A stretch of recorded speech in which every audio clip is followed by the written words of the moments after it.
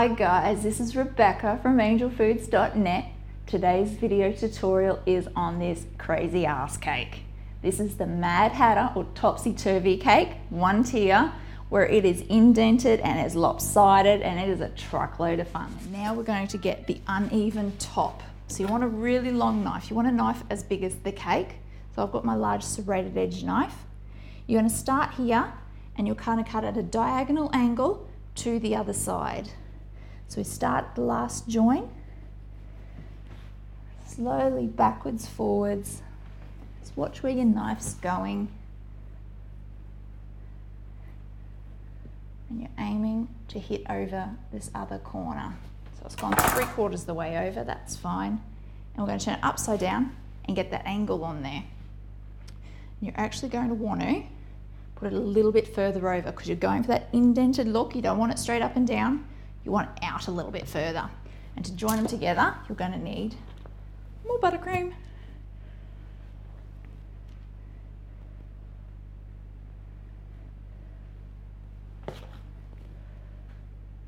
And that's to glue him on. Sorry, let me see, does that, yeah, that coats it all. Make sure it goes out to the side a little bit further. Fantastic. All right, now we're going to carve this cake up. So we want to get those indented sides. And this is why we put the eight inch round cake board underneath. So if you flip him to the side, so you can see the cake board is giving you the space you want to cut at because you want to cut it down to that level at an in, at an angle. So you're aiming for the cake board to the edge of the cake. So edge of the cake up here, cake board. So that's why you need your big ass knife. And you hold the cake board where it is. So that's why the cake's got to be cold. To need to be able to manhandle it a bit. And we're just going to slowly carve away. So don't aim for cutting heaps off at this stage. You can do more. I might just take it off the paper for a moment. We'll need it on the paper again later. So if you cut off less, less is more and you can always just keep carving at it. Just cleaned up the bench and I've actually transferred the cake onto the bigger cake board now because I'm going to do the crumb coat on here. I'm going to do the final coat and then I'm going to fondant all on this cake board. So I'm happy to have it on the good cake board. So I've got a 10 inch round and that's just for a really basic design. If you're looking for something a bit special, I'd go a bigger cake board and probably cover the cake board in fondant too. That would be really beautiful. You can learn how to cover cakes in uh, covering cake boards in fondant as well on our cake board tutorial. Now to crumb coat. So crumb coat is all about one really thin layer of either ganache or buttercream on a cake to get the, the next coat of ganache or buttercream onto the cake. So you need two coats on a cake to cover it in fondant, at least two. Some cakers do three. And it's just about putting that ganache on as thin as possible. So you pick up the ganache and you do a forwards, backwards motion to get that ganache off the palette knife and onto the cake. And you've got to push it around. You've got to be a bit forceful with it. So I put it on baking paper just so I can spin it easy. You can put it on a turntable as well. I just happened to forget mine today, but you can do it on a, on a bench, absolutely no worries. And with the ganache, you do need to have it at a palette knife consistency. So I have given you the recipe for ganache before, and you can use it for drizzling and you can use it for palette knifing. So it can be lots of different consistencies, and to get it to the right temperature, it's all about refrigeration and microwave. So there's a little bit of a little bit of a practice to it, I suppose, to get it to do what you want it to do. Spin him around for you to see again. So we're nearly back to the beginning. Trying to cover up top to bottom. And you can see more of that shape showing through now. I love the topsy-turvy. I just think it's so sexy. It's just so cute and fun. There's nothing else like it. All right, we just want a thin coat on the top now too. So because this is just a one tier or a one layer, we're not actually carving out the center of it to stack more on top. So if you want to learn how to do that, there's a two-tiered topsy-turvy video at angelfoods.net. All right, so got a thin layer. So you can see it's missing a little bit of cake down the center here that it goes almost like a step. So I want to fill that in with ganache because I want it to be a flat tabletop. So yes, this is the crumb coat stage, so it doesn't need to be perfect, but if I start filling it in now, less filling in I have to do later in the final coat. All right, that's looking better already.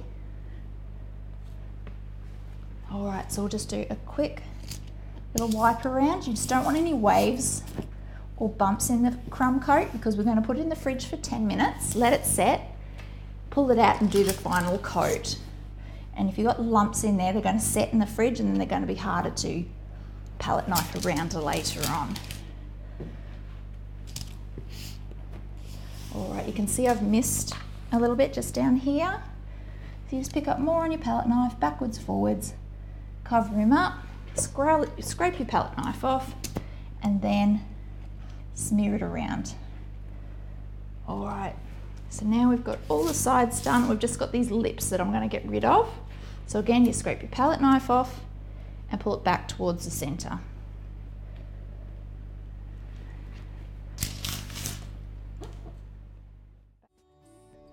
All right, so I'm just warming my fondant up.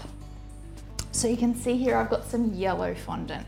So I started with the Bakewell's RTR icing, which is just a white fondant, and I've coloured it up myself. So I've used the golden yellow Wilton concentrated food gel. So you need to use the Wilton food gels for colouring fondant. I've shown you that before in the other video tutorial called What is Fondant? So I coloured it yesterday and I also tylosed it yesterday. So that means I've put through a tylose powder, which makes the fondant easier to handle and also it um, dries quicker. So you need to have that tylose through it. And you can do it up to 24 hours beforehand. But if you are just doing it on the day of the cake, that's absolutely fine.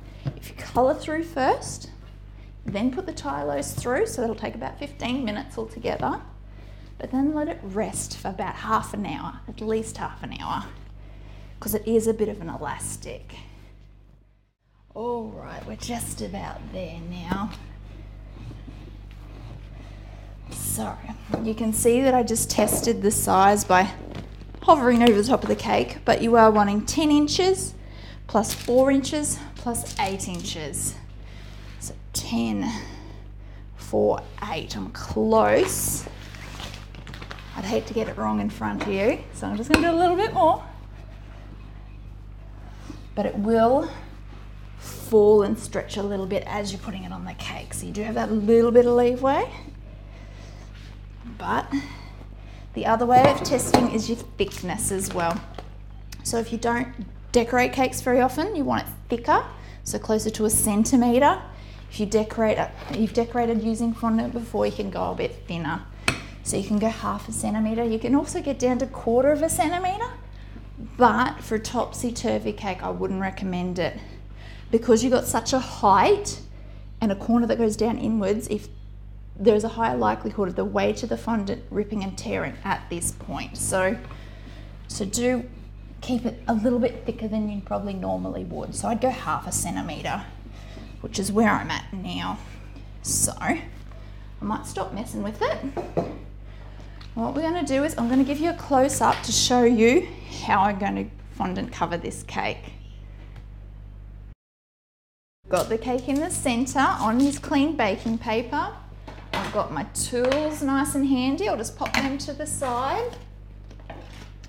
All right, so I'm going to peel back the first top of the mat You've seen this before in the other mat tutorial.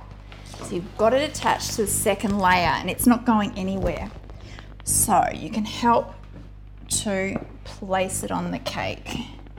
You've actually got a little bit of leeway. All right, So I want it more to the big side so I've got enough fondant to cover that cake and it will stretch a little bit.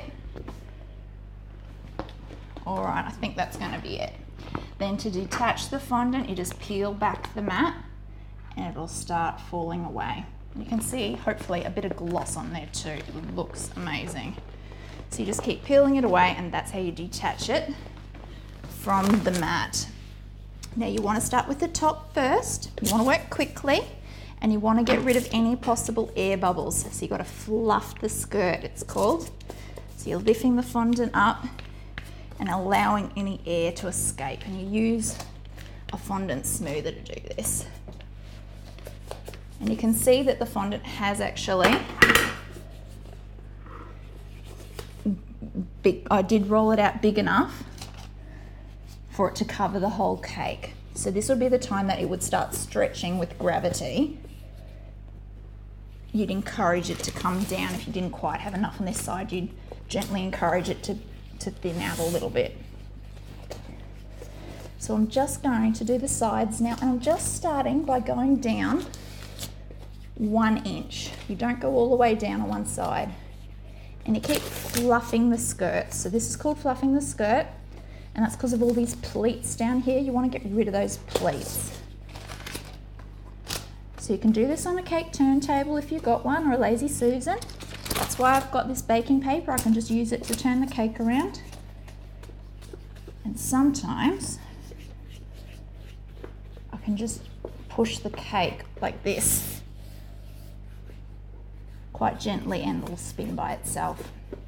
Just keep fluffing so that the difficult thing will be getting rid of these pleats without adding creases to your fondant work, to your cake.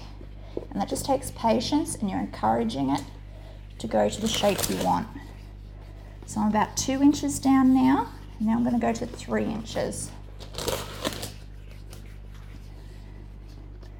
Okay, so there's a pleat or a crease forming there, so I'm just going to flatten it out with my fingers and then smooth down again.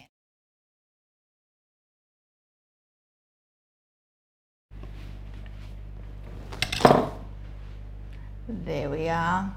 Let's put a little border on it. I call that a snake border. And you can decorate this in any way. So you can put flowers on top, edible or fake. You could put um, bows on there. You can put toys on there. Anything really. Sky's the limit. Did you want to see some more examples of a topsy-turvy? Here you go.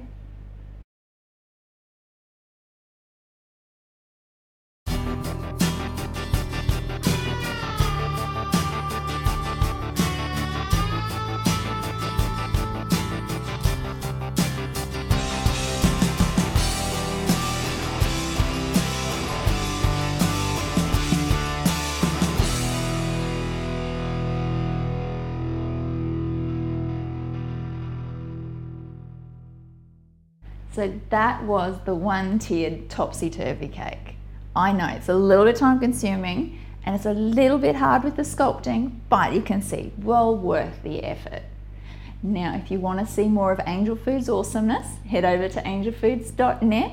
We've also got franchise opportunities. So, this is a business where you get to work for yourself and make money. Oh my God, best job in the world. There's a free information pack available at angelfoods.net. Also, check us out on Facebook and like us. Thank you so much.